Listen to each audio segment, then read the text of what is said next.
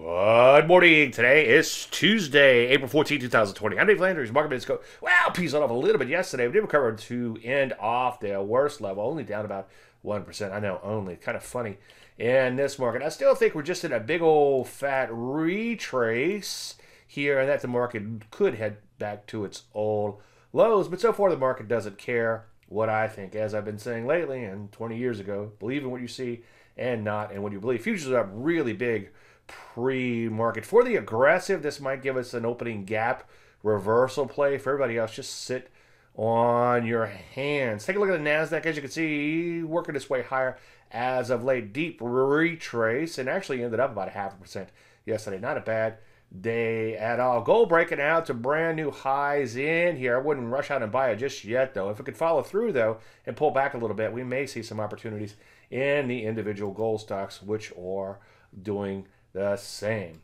So what do we do? Well, honor your stops on existing shorts because this freight train higher continues to push higher. But for the aggressive, keep an eye out for a reversal back in the direction of the longer term trend. Any questions? Dave, DaveLandry.com. I'm Dave Landry, and you start the market.